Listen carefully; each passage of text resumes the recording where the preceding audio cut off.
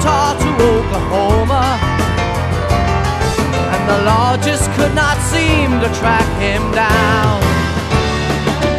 And it served as a legend well for the folks they loved to tell about when Billy the Kid came to town.